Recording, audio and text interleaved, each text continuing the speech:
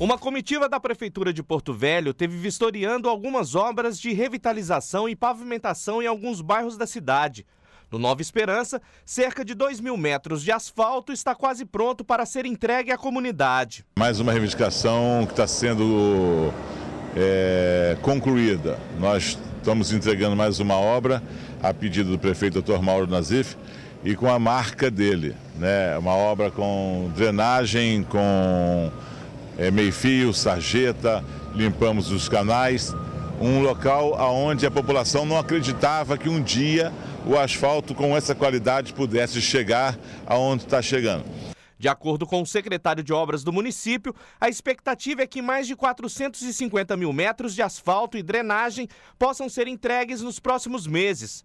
Todo o material com recursos próprios. Para mim e para o prefeito, eu acredito, é uma satisfação muito maior do que para os moradores que estão aqui.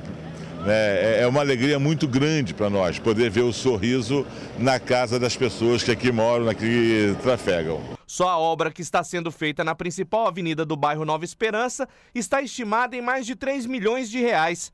Depois de asfaltada, a rua também receberá sarjeta e meio-fio. A conclusão desta obra está prevista para acontecer neste fim de semana.